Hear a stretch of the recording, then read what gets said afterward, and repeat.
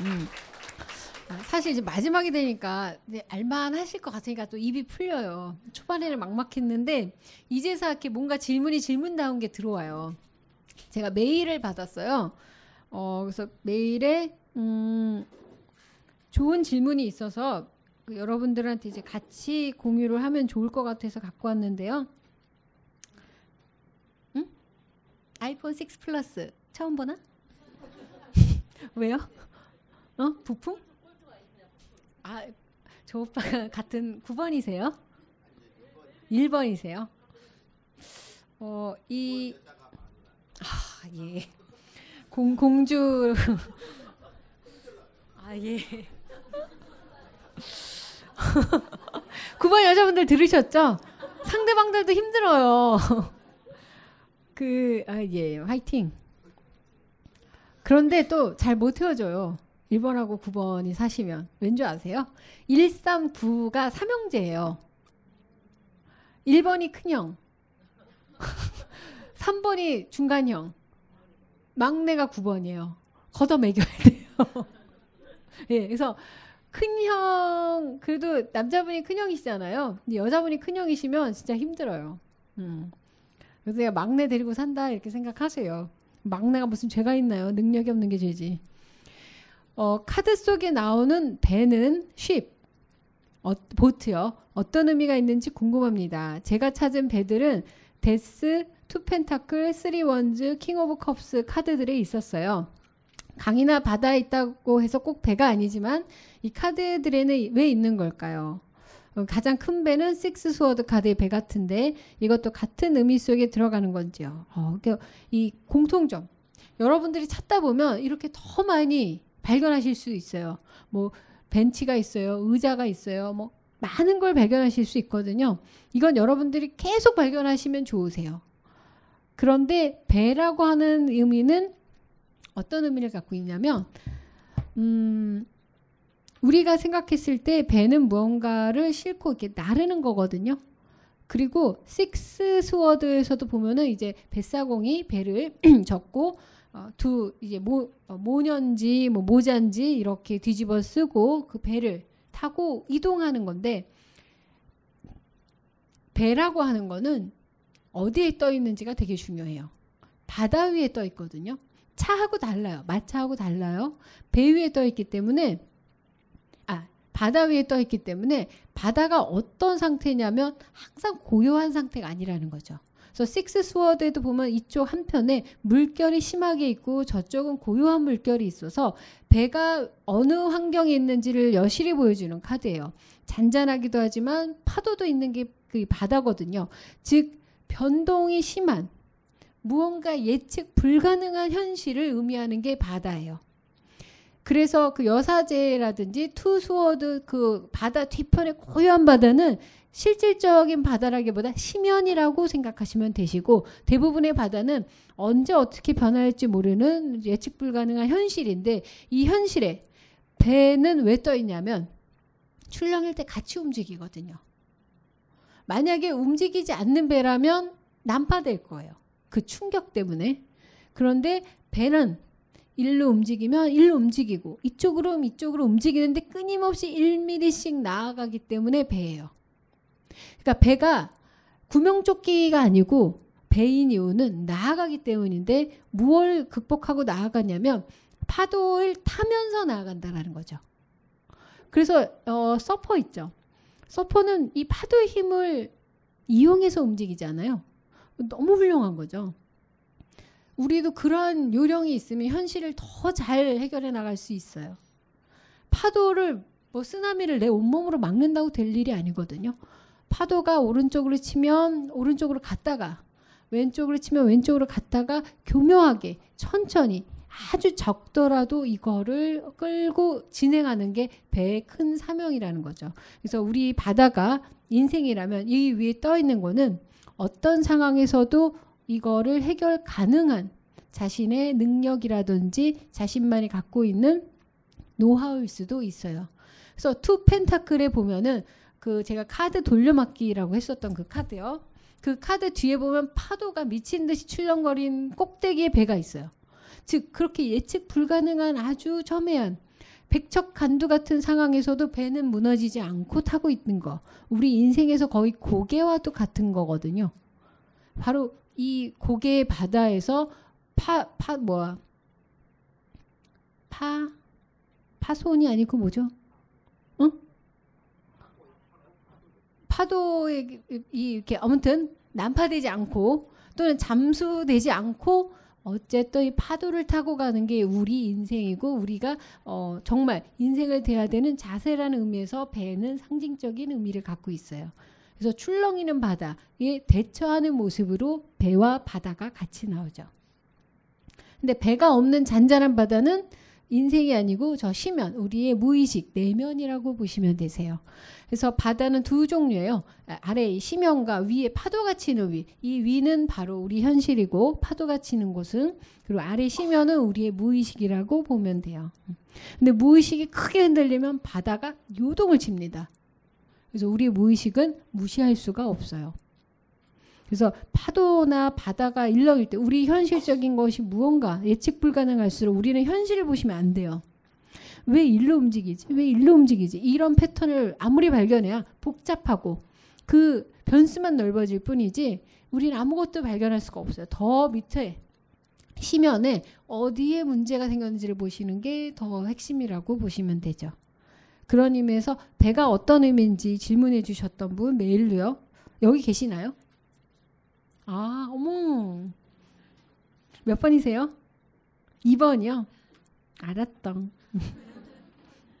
어, 되게 좋은 질문이셨고 내용도 너무 잘 써주셔서 제가 따로 답은 안 드렸지만 음, 여기서 답을 드리도록 하겠습니다.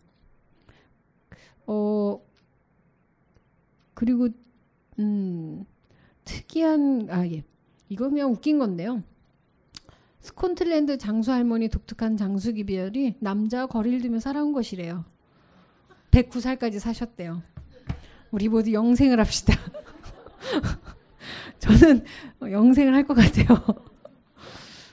어떤 친구가 그러더라고요. 이걸 읽어줬더니 난 틀렸어. 먼저 가. 막 이러면 난 틀린 것 같아요. 이런 나쁜 년이었는데 자 이제 두 번째 spread로 가겠습니다. 일단 spread 끝내고 어, 여덟 8단계, 아, 48개 이제 에이지로 갈 테니 아무 걱정하지 마세요. 어, 꼭 다 해드려요. 예, 오늘 죽자사자로 해드릴 테니까. 일단, 6 카드, 이 숫자가 되게 중요합니다. 맨 처음에 4 카드였죠. 4라고 하는 거는 구성을 의미를 해요. 시스템. 4는 프레임이에요. 사각형. 사각형은 무엇으로 이루어졌냐면요. 점과 선과 면으로 이루어졌어요. 점이 모여서 선이 됩니다. 선이 쭉 이어지면 면이 돼요. 면이 쭉 확장이 되면 정육면체가 되는 거죠. 이게 세상이 돼요. 세상은 무수한 점에 의한 총체합이에요. 여러분 3D로 지금 방금 상상하셨나요? 이 정육면체 안에 있는 게 세상이기 때문에 규정이라고 하고 square라고 하고도 하고 원칙이고 기준입니다. 이 프레임이에요. 이걸 벗어나는 거는 문제가 되겠죠. 그래서 사라고 하는 건 구성이거든요. 그래서 four 카드는 우리 기본 자체 구성하는 숫자는 4예요. 1, 2, 3만 가지고 있어는 껍질이 없는 과일이기도 해요. 이 틀을 만들어주는 게 4이기 때문에 근데 1, 2, 3만 있어도 되긴 합니다. 근데 왜 4가 필요하냐? 껍질. 이 껍질이 의미하는 게 그냥 단순한 껍질이 아니고 정육면체에서 이 각이 나오는 거는 다양성과 그리고 이 알을 안전하게 해주는 거거든요. 그래서 이 영혼을 담는 그릇이라는 의미인 거죠. 그래서 우리 어, 영혼이라고 자꾸 얘기하니까 종교적으로 생각하실 필요는 없으세요. 가끔 타로나 이런 공부를 하실 때 상당히 영성적인 거 뭐 어, 얘기 많이 하시고 전 명, 명상도 별로 좋아하지 않아요. 명상을 할 수 있는 타입과 할 수 없는 타입이 있어요. 아무나 명상이 좋지 않습니다. 음, 아무나 모든 사람이 똑같은 영양제를 먹는다고 몸에 다 잘 발현하는 건 아니겠죠. 안 맞는 음식도 있는 것처럼 아무리 좋은 것도 다 100% 좋을 수는 없어요. 우리는 모두 다 기질이 다르니까요. 그런데 이제 영성이나 이런 의미는 종교적으로 해석하시는 게 아니고 어떤 의미냐면 우리도 모르게 지금 죽기 전날까지 찾아 헤매는 의미예요. 그 의미가 무엇인지를 제가 이제 소울이라는 걸로 대치를 한 것 뿐이고요. 뭐 딱히 쓸 수 있는 말이 없어서 그렇기 때문에 우리가 이렇게 태어난 몸 그리고 그 어, 마음 그리고 어, 기질 이러한 것들은 무엇을 담기 위해서 이렇게 폼이 생긴 거지 다른 의미는 없다라는 거예요. 그래서 결국엔 이 몸과 기질과 성격이 중요한 게 아니고 이것들이 생, 이렇게 생겼기 때문에 담는 내용물이 무엇인지를 찾는 게 더 중요하세요. 그게 제가 누누이 얘기하는 여러분들이 사람들과 만나서 나도 모르게 발현되는 역할이에요. 이 안에 담긴 걸 쏟아서 무엇인지 확인할 때가 바로 그 역할이 드러날 때인데 이거는 용도는 인간이 인간을 만날 때 인간을 통해서 무언가 역동적인 게 생길 때 나온다라는 거죠. 집에 혼자 있으면 절대 나오지 않아요. 배구공 하나 놓고 윌슨 나이 친구 이러면서 살아야 돼요. 바로 그래서 사람이 사람이 필요한 거는 외로워서가 아니에요. 우리에게 외로움은 아홉 가지의 외로움이 있어요. 1번부터 9번까지 외로움이 다 틀려요. 예를 들어서 어 9번은 외로움을 느낍니다. 공주니까. 공주는 외로우니까. 왜 외로운지 아세요? 아무도 날 안 알아줘서 외로워요. 누가 옆에 있다고 행복하지 않아요. 근데 단 한 사람이라도 내가 인정한 사람이 날 알아봐주면 됩니다. 상당해서 고양이과가 있는데 그래서 좀 명예욕이 있다라고 해요. 그래서 와이프분이 9번이시잖아요. 늘 칭찬해 주시고 이렇게 해 주시지 않으시면 수발을 들어 주시지 않으시면 시들시들해집니다. 하다 그렇게 시들시들해서 이렇게 꺼져 버리면 좋겠는데 공주는 끝까지 포기하지 않죠. 네, 난리가 납니다. 그런 것처럼 이 9번이 갖는 외로움과 1번이 갖는 외로움은 또 달라요. 1번이 갖는 외로움은 1번은 주변에 대한 다양한 눈치와 이 해석과 이 복잡한 걸 이해하는 능력이 없어요. 단순한 건 아니지만 좀 심플한 때가 있으시거든요. 그래서 어쩔 때 위에면 복잡해질 때 외로워집니다. 그다음 이거 물이야 물인데 어 뭐 물 중에서도 뭐가 있고 뭐가 있고 막 이러면요 이렇게 막 돌아가시는 거죠. 그래서 이런 분들하고 얘기하실 때는 남자친구가 1번이시잖아요. 그럼 정확하게 원하는 걸 말하세요. 어, 오늘 뭐, 뭐 먹을까? 그럴 때, 어, 뭐 자기 좋은 거, 그럼 절대 안 됩니다. 평생 본인이 좋은 거 못 드세요. 이분들은 떡국 좋아하면 1년 내내 떡국 드실 분들이에요. 그렇기 때문에 구체적으로 떡국만 아니면 되라든지 아니면 떡 중에서도 떡볶이인데 어, 브랜드를 꼭 말씀하셔야 됩니다. 아무 데나 기어 들어갑니다. 그러니까 나는 저기 김밥지옥 떡국 저기 떡볶이 말고 어 조스 떡볶이 먹겠어. 어딘지 정확하게 명품 떡볶이. 9번은 명품이죠. 그걸 구체적으로 얘기해 주시지 않으시면 여러분들의 입은 어, 평생 지옥 속에서 살 수 있으세요. 그들은 입맛도 심플합니다. 그들에게 음식이란 맛있는 거, 더 맛있는 거, 더더 맛있는 것 뿐이에요. 맛없는 거, 맛없는 거, 맛없는 것 뿐이에요. 스페시픽한 게 없어요. 복잡해질 때 외로워요. 어떻게 이걸 자꾸 해? 더 다른 거 없어? 그럼 외로워져요. 뭐지? 내가 모르는 세상이 있나? 이건 일본 여자분들도 그래요. 일본 여자분들. 일본 여자분들은요. 동네가 어디시죠? 도곡동? 어느 동네 중곡동? 어느 동네 사시죠? 인천이요. 인천이 최고입니다. 그러니까 결국 자기 동 자기가 익숙한 거, 자기가 어, 길들여진 거 외에는 그닥 어, 모험심이 없어요. 어, 되게 꿈은 꿉니다. 어, 다른 데로 가고 싶은데 인천에 비슷해야 돼요. 그래서 이런 분들한테 결혼하실 때 어, 우리 입지 조건이 좋은 어디로 뭐 이사를 가자 그러면은 외로워집니다. 이 사람이 날 사랑하지 않나 봐. 그게 뭘까? 그래서 아주 구체적으로 설명을 해 주셔야 돼요. 그리고 어, 외우게 하셔야 돼요. 나는 이렇게 생긴 백을 좋아해. 이렇게 사각 H로 시작해. 막 이러면서 구체적으로 알려주시지 않으면 음, 항상 낭패를 당하실 수 있다라는 거죠. 2번은 언제 외로운지 아세요? 어떤 상황에서도 외롭습니다. 2번은 외로운 걸 분노로 사실은 바꿔야 돼요. 딱히 막 화도 못 내지만 늘 분노에 차 있습니다. 사실은 자신에 대한 분노예요. 이러, 이러고도 만족이 안 되고 저러고도 만족이 안 돼서. 그 분노를 이해하지 못할 때 주변에서 외로워지죠. 왜 화를 내? 화낸 거 아니야. 화냈잖아. 이씨 외로워져요. 화낸 거 아니거든요. 네, 외로운 거죠. 3번은 정확합니다. 3번 분들. 심심하면 외롭습니다. 음. 뭔가 지금 당장 집중하고 놀 게 있어야 돼요. 놀 인간이 있어야 돼요. 3번은 되게 훌륭한 게요. 어, 이걸 놀 사람만 있으면 되지 누가 꼭 필요하진 않아요. 아주 훌륭한 마인드라고 생각해요. 부루마블에 그 인간을 꼭 자기가 세팅해야 되는 사람들이 있어요. 근데 이분들은 팀만 되면 됩니다. 부루마블 좋아해? 오케이. 이 시간을 즐기리라. 4번이 언제 외로운지 아세요? 4번이 불안감이 되게 높거든요. 잔고가 없을 때 외롭습니다. 현실적으로 뭔가 내 능력이 어느 기준치 안 될 때 상당히 조급해지고 외로워져요. 나 홀로 이 들판에 서 있구나 이런 느낌을 받으신다는 거죠. 5번은 언제 외로운지 아세요? 5번이 교황이잖아요. 교황은 언제 외로울까요? 5번 분. 어, 누가 대답을 했어요. 추종자가 없을 때 외로워요. 누가 나를 막 꽃바라기로 봐주지 않으면 되게 외롭습니다.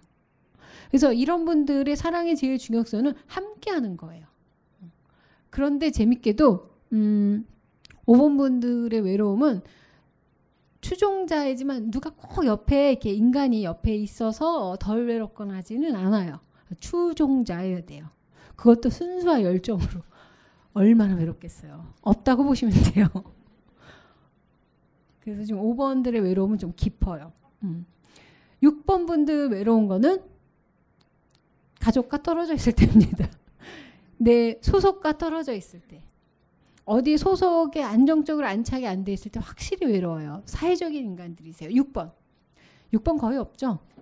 왜냐하면 이분들 지금 열심히 야근하고 계셔야 되거나 어, 뭔가 세상에 아니면 법륜 스님이나 좀 더 증명된 데 가실 확률이 되게 높아요.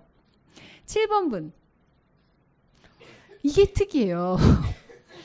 이거는 제 문제라고 생각해요. 7번 분들이 제 주변에 요즘 최근에 진짜 3년 안에 7번 분들이 제일 많거든요. 그건 제가 아마 어 요즘 많이 상담하거나 많이 이 내거는 메시지 때문이라고 생각해요. 전에는 제 주변에 이렇게 7번이 많지 않았어요. 근데 최, 최근 제가 많이 내는 이 어, 얘기하거나 사람들한테 상담할 때 쓰는 메시지가 리더십이거든요. 세상이 날 어떻게 보는지에 대한 거 그러다 보니까 7번들이 되게 관심을 많이 가져요. 7번이 외로운 건 내가 초라해질 때. 남이 날 초라하게 찌질하게 보는 것 같은 걸 느낌적 느낌으로 들었을 때 너무 외로워져요. 그래서 저는 7번한테 누누이 말해요. 외모를 바꿔라. 이, 일단 이게 되셔야 돼요. 그러니까 외모가 젊어지고 예뻐지고 뭐 닭가슴살 드시라는 게 아니고요. 자기가 생각했을 때 인생에 가장 예뻤다라고 생각했던 시대절의 리즈 시절이라고 하죠. 그 시절의 사진에 가깝게 돌아가시는 게 문제 해결의 첫 번째세요. 그럼 자신감이 생겨요. 어, 외양만 너무 중요해. 맞아요. 외양밖에 없어요, 여러분들. 그걸 먼저 채우시고 그 다음 그걸 꼭 찾으시면 되죠. 8번이 외로운 거. 8번 어, 분들. 자, 여기 4번, 6번, 8번 손을 들어 보세요. 별로 없죠. 현실적인 분들이신데요. 이분들은 저기 어 다른 데 계세요. 대부분. 이 8번 분들은 어떻게 외로우냐면요. 자신이 어 뭔가 책임을 내가 이 어떤 열정을 다 쏟아내지 못하거나 내가 뭔가를 완벽하게 이거 부양하지 못했거나 내 소임을 뭔가 끝까지 못했을 때 외롭습니다. 힘들겠죠. 음. 되게 열정이 많이 있으신 분들인데 음, 그래서 8번 분들이 그 고생고생을 하다가 반대편으로 가시는 분들도 상당히 많아요. 9번으로 넘어가셔서 막 지리산에 혼자 들어가시고 뭐 이런 분들이 있어요. 뭐 계룡산에서 돛 닦으신 분들 보면요. 9번들 없어요. 9번들 막 어우 귀족인데 어떻게 그런 데를 기어 들어가요. 암에 걸리면 반드시 지리산에 들어갈 타입들이세요. 4번, 어, 6번이 먼저 들어 4번, 6번, 8번이 먼저 들어갑니다. 끝까지 남아 있는 건 8번. 4번은 어, 금방 눈치 보고 나와요. 이건 아닐세. 6번이랑 8번이 같이 있다가 6번은 또 딴 데 가요. 귀가 얇아서. 8번 끝까지 저 도라지만 먹고 병 나았어요 이런 분들이 좀 네, 뭔가 좀 끝까지 이렇게 해결해 보려는 힘이 있는 분들이죠.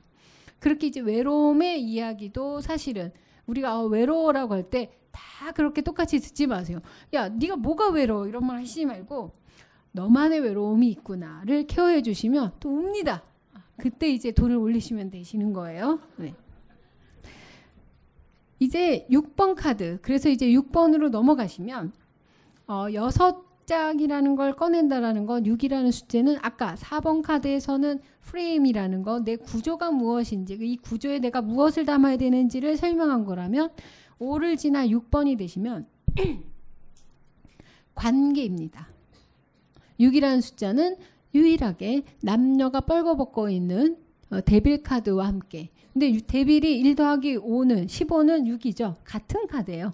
결국엔 두 사람이 듀얼로 나오는 카드는 15번과 6번 두 개가 같은 종, 동, 동전의 양면 같은 건데 이 카드에서 의미하는 6번처럼 6번은 상대방 서로 바라보는 거거든요.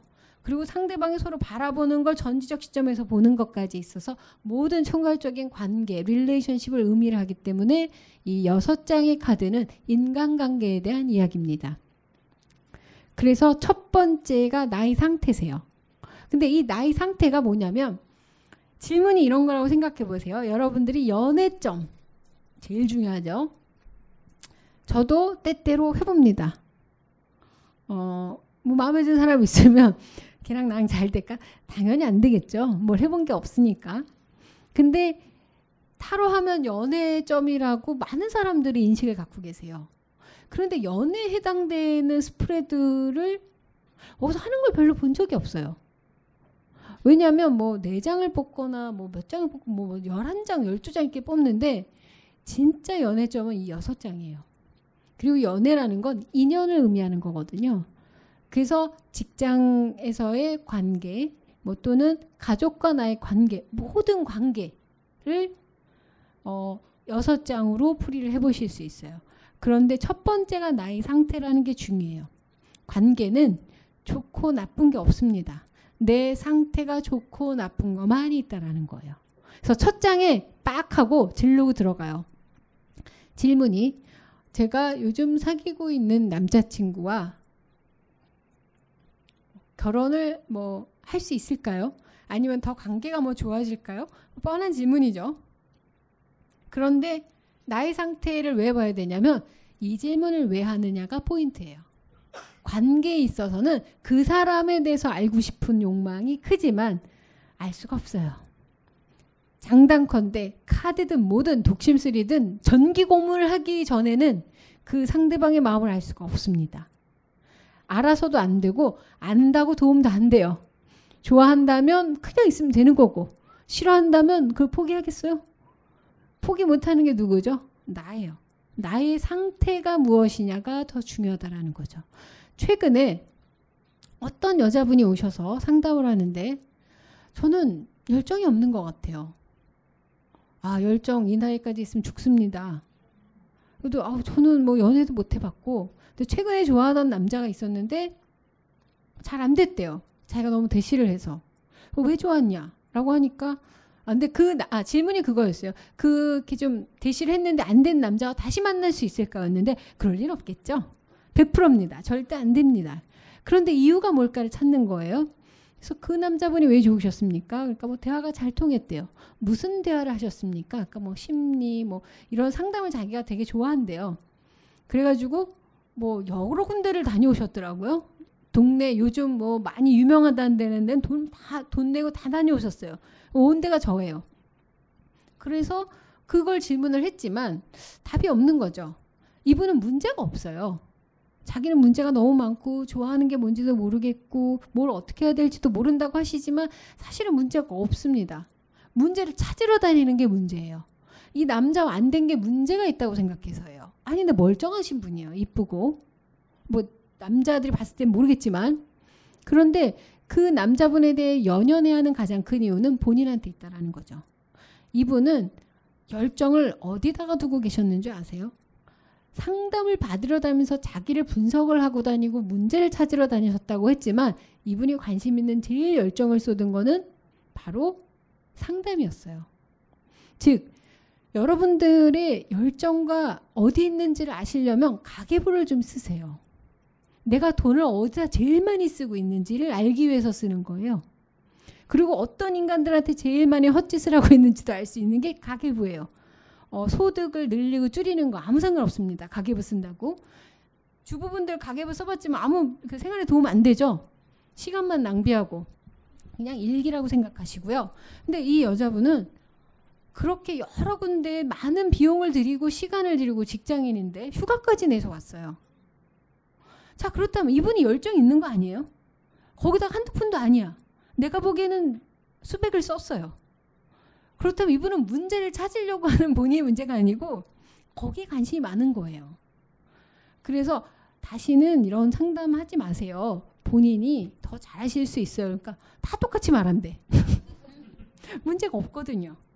즉 본인의 열정이 그곳에 있었는데 우연히 그 만난 그 남자가 그 얘기를 받아준 거예요. 그래서 이 여자분이 마음이 뻥 뚫린 거죠. 사랑이라고 착각하신 거예요. 이렇게 통하는 남자를 만날 수 있을까? 그래서 막 이렇게 막 그 대시를 했더니 남자가 부담돼서 떠났죠. 만약에 아 내가 이 분야를 좋아하고 이런 이야기를 즐기고 이 사람이 나와 소통이 되는구나 해서 그 관계만 가져갔다면 아직까지도 잘 지내고 있었을 텐데 착각해서 갑자기 왜 여자들이고 남자들이고 분위기만 좋아지면 이성으로 모두가 변해버려요. 그러면서 여자분들은 어, 결혼해서 삶까지 막 그 드라마를 만들죠. 남자분은 어떻게 하면 옷을 벗길 수 있을까 막 만들고요. 결국엔 그 모드로 확 가버리면 진짜 중요한 관계의 초점을 잃어버리거든요. 내가 왜 이 사람과 있는지를 잊어버리는 거예요. 근데 차 한 잔 만났을 뿐인데 바람 필까 이 남자 막 이런 거 하면서 어, 결혼하면 나한테 잘할까 뭐 능력은 될까 그런 쓸데없는 고민을 하시는 것보다 현재 내가 어떤 욕망으로 이 사람과 있는가를 아는 게 제일 중요하기 때문에 이 six 카드 relationship 카드는 나의 상태를 먼저 보시는 거예요. 여기서부터 fix하지 않으면 질문은 아무 소용이 없다라는 거죠. 나의 상태가 연애하고는 아무 상관없는 카드가 나왔어요. 그럼 이제 얘기는 편안하게 하는 거예요. 아, 뭐 그 남자랑 뭐 연애가 아니고 너의 의지와 욕망만 있을 뿐이다. 그게 무엇인지를 보자. 라고 했을 때 지금 현재 내 문제가 되는 게 두 번째 나옵니다. 내 상태는 이런데 지금 내가 갖고 있는 문제는 무엇인가? 방해 요인은 무언가? 내가 무엇을 착각하고 있는가가 두 번째 카드에서 보여지는 거죠. 자, 그럼 3번은 왜 과거냐면요. 과거는 어떤 의미에서 보면은 나의 현재 모습이 아니고 이 전의 나의 모습이라고 보시면 되세요. 근데 이 나의 모습 과거가 왜 필요하냐면 현재 상태는 계속 움직이고 있는 거거든요. 어떤 욕망에 의해서. 그런데 과거의 내 모습은 어디에서 내가 현재까지 출발했는지 지점을 보시는 거죠. 그래서 예를 들어서 나의 상태가 어 어떤 카드냐 이렇게 딱 얘기 드리는 것보다 지금 현재 나의 상태가 그렇게 좀 우울증이 좀 있고 그리고 너무 외롭고 뭔가 되게 다운되어 있는 상태의 카드가 나왔다. 뭐 예를 들어서 Five Cups 같은 거. 앞에 컵 세 개 엎질러져 있고 뭐 두 개 남아 있고 나의 상태가 이렇다. 그럼 뭔가 뭐 실연을 어, 참고 있거나 그 인간관계에서 좀 트러블이 있거나 이런 상태에 있기 때문에 지금 뭔가 외로움을 느끼고 이 남자한테 더 집착하고 조급함이 느껴지는 거거든요. 잃지 않으려고. 그래서 문제가 뭐냐라고 봤으니 뭐 투스워드가 나왔다. 참고 기다리지 못하는 조급함이다. 이렇게 해석하실 수가 있는 거예요. 그렇다면 나는 왜 이렇게 됐을까? 원인을 찾기 위해서 과거를 봅니다. 과거를 봤는데 뭐 저지먼트가 나왔다. 뭐 결별, 이별, 뭔가 손해. 여기에서 뭔가 출발이 됐었구나. 내 지금 힘든 상태 원인을 찾는 게 과거입니다. 그래서 현재 지금 그 사람과 내가 고민하고 있는 그 사람과 나는 어떠한 사실은 현실적으로 팩트 어떤 관계냐를 보는 게 현재예요.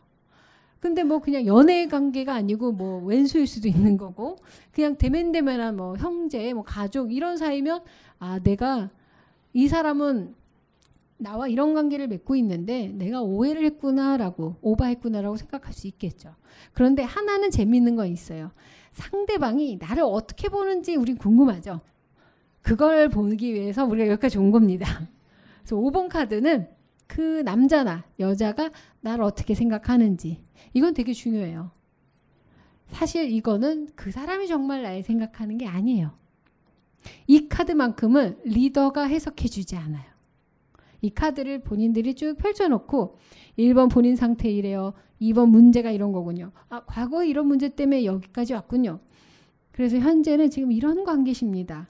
그런데 남자분이 혹은 여자분이 본인을 어떻게 보시는지 보여드릴게요. 막 두근두근이에요. 어, 딱 가면 이건 본인이 해석을 하세요라고 하면 내가 생각했을 때 남이 날 어떻게 생각하는지를 본인 스스로 여실히 고백하는 시간인 거죠.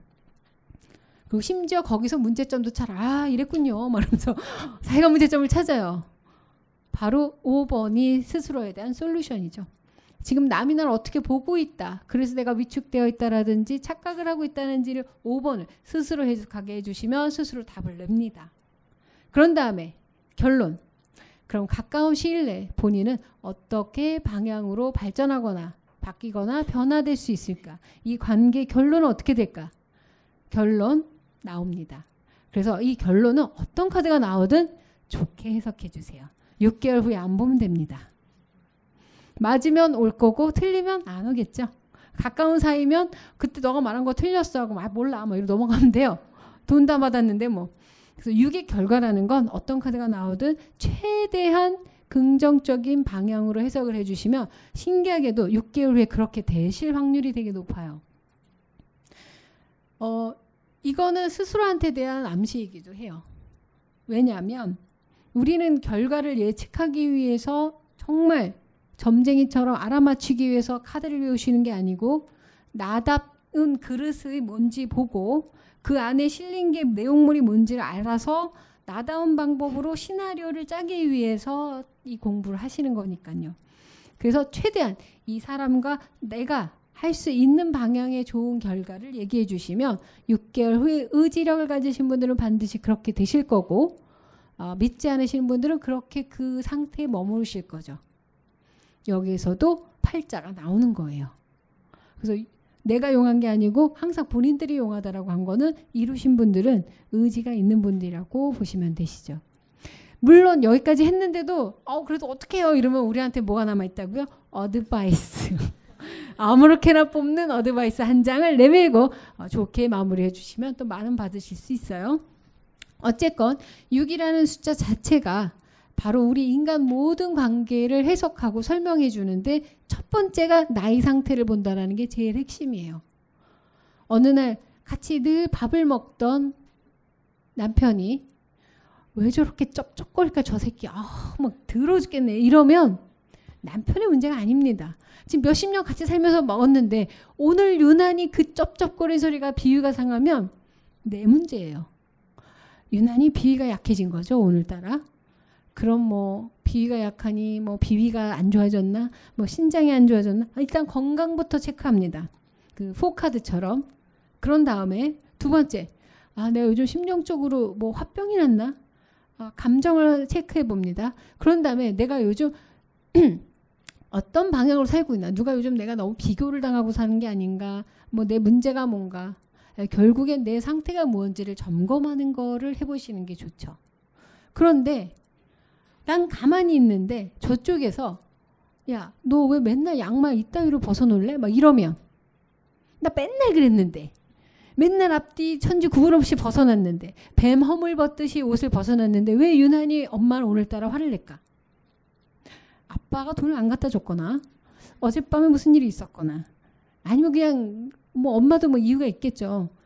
결국엔 그분 문제시지 내 문제가 아니라는 거예요. 절대 내 문제 아니에요. 그래서 그거 응대를 하지 마세요. 쩝쩝거리지 말라고 비난도 하지 마시고요. 나 옷 이렇게 벗어놓은 거 뭐라고 하시면 왜 나한테 짜증이야 이러시지 그거는 저쪽이 싸우자라는 거 이제 응수하시는 거기 때문에 어 맞아 내가 그랬지 미안 이러고 그래도 세 번 정도는 더 공격합니다. 세 번을 넘기셔야 되세요. 그래 못 넘기시겠죠. 예. 그래서 두 번째 싸움 붙습니다. 레파토리는 항상 똑같아요. 그럼 항상 지시잖아요. 어, 결국에는 9번에 이 메모리 거의 칩 같은 기억력과 너가 몇 년 몇월 며칠 이때를 살았기 때문에 내가 이 모양 이 꼴로 이렇게 화병이 났어. 뭐 그걸 다 읊을 때까지 들으시면 1번 복잡해지시면 외로워집니다.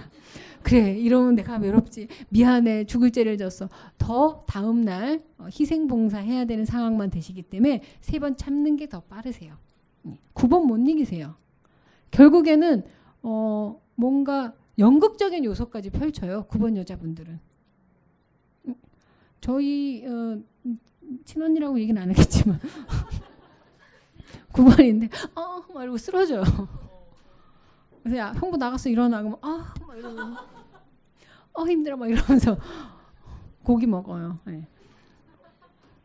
상당히 드라마틱한 요소가 있어요. 본인들도 알아요. 예, 막, 막 올려요 자기네들 감정을. 하지만 전 9번을 사랑해요. 제 제일 유일한 친구 하나밖에 없어요. 블루계열은. 그러니까 결국에 나의 상태를 핵심으로 보는 게 인간관계고 여러분들 친한 친구는 정말 좋은 친구는 어떤 친구냐면요. 잘 살고 있는 친구세요. 연락 자주 해주고 밥 사주고 술 사주고 아니에요. 자기만 잘 사는 친구가 제일 좋습니다. 적어도 이런 분한테 빚보증 설 일이 없어요. 너무 나한테 잘해주는데 빚보증을 서달래. 어떻게 하세요? 안 서줄 수 있어요? 끊어야 되는데 안 되죠. 마누라 핑계 댈 수도 없고 남편 핑계 댈 수도 없고 예 내가 그러한 부탁 안 하는 사람이 되는 게 친구한테 좋은 분이에요. 그래서 어느 정도 나이가 되셔서 친구는 옛날 친구고 뭐 중마고고 불알 친구 다 필요 없습니다. 현재 연락이 안 되면 좋은 친구예요. 잘 살고 계시는 분이거든요. 갑자기 급 연락이 옵니다. 어느 날 오후 3시쯤 걸려오는 전화 불안하지 않아요? 이 낯선 번호 연락이 없던 앤데 근데 한 번은 깝니다. 그럼 문자를 남기죠. 뭐 잘 지내. 그런데 문자도 남기지 않고 또 겁니다. 불안해지죠. 세 번째는 안 받을 수가 없어요. 그러면 아 별로 좋지 않은 얘기예요. 힘든 일이 있거나 나한테 호소를 하거나 내가 상태가 좋으면 들어줍니다. 돈도 많으면 빚 보증 허줍니다. 그런 친구가 되셔야죠. 언제든 친구가 힘든 거 호소할 때 들어줄 수 있는 컨디션을 유지하시는 게 좋은 친구세요. 근데 컨디션이 되지 않을 때는 응대하지 마세요. 결국엔 피해의식만 쌓여서 좋은 상황이 됐을 때 그 친구를 만날 수가 없거든요. 컨디션을 유지하는 게 내가 저 친구 그리고 내 가족들한테 좋은 관계를 맺을 수 있는 최초의 어, 시작이라고 생각하시면 되시기 때문에 나이 상태. 그래서 가끔 전 혼자 이걸 봅니다. 어, 어떤 구체적인 대상을 상대로 보기도 하지만 요즘 나의 인간관계는 지금 어떤 상태일까를 볼 때 이걸 봐요. 나의 상태를 먼저 보고 아 별로 좋지 않구나. 지금 현재 문제를 보고 역시나 안 좋구나. 이 이유는 뭘까? 저는 그럴 때 3에 집중해요. 아 이 이유 때문에 내가 지금 상태가 안 좋아? 그럼 이거를 내가 한번 좀 차근차근 해결해 보자. 그런 다음에 인간관계를 맺자. 당장 해결할 일도 아니고 풀 일도 아니고 싸울 일도 아니고 따질 일도 아니다. 한 3일만 참으시면 되세요. 3일 동안 뭐만 하시면 되냐면요. 계속 타로를 뽑습니다. 내장을. 내 몸과 마음과 현재 상태가 어쩐지 계속 뽑으세요. 미친 듯이 같은 게 나올 때까지. 그래서 그냥 참아요. 그럼 어느새 관계에 있어서 문제가 사라지기도 해요. 내 문제였으니까요. 관계 문제는 쌍방의 문제가 절대 아니시라는 거. 그게 바로 핵심이고 그걸 설명을 잘 하실 때 모든 인간관계에서 이해가 되실 수가 있으세요. 그래서 1번, 2번, 3번, 4번, 5번, 6번까지 하신 다음에 뭐 마지막에 그래 이해했어. 그럼 어드바이스 이렇게 끝에까지 여러분들이 카드로 보실 수 있는 스프레드 두 개를 알려드린 거예요. 어, 이 두 개만 있으면 돼요. 왜냐하면 음, 저도 초창기 때는 거의 78장을 다 깠습니다. 설명이 안 돼서 뭔가 부족한 것 같아서 또 다른 답이 있지 않을까? 또 다른 답이 있지 않을까? 그리고 어, 타로 카드 책을 보면 아주 여러 종류의 그 타로 카드 그 스프레드법이 있는데 뭐 돈, 직업 뭐 이런 거 있습니다. 근데 돈이든 직업이든 뭐든 다 무엇이 나와야 되냐면 나의 상태와 나의 역할이 나오기 전에는 해석 불가해요. 자, 직장인인데 연봉이 정해져 있고 거기다가 세금은 꼬박꼬박 묻는 이 대한민국 이 땅에 연말 정산까지 다 뜯긴 이 상태에서 여러분들은 재벌이 될 수 있겠습니까? 그런 분들이 오셔서 저 돈 언제 버나요? 지금 벌고 계시잖아요. 이것보다 더 어떻게 버나요? 뭘 월급 맞고 어떻게 버실 겁니까? 도둑질 하실 겁니까? 강도질 하실 겁니까? 뭐 투자나 이런 거 없나요? 그럼 투자나 뭐 이런 거에 대해서 몇 년 동안 공부하셨습니까? 10년 정도 공부하신 거 아니면 하지 마세요. 10년 동안 투자에 관심 가지신 거 아니면 하지 마세요.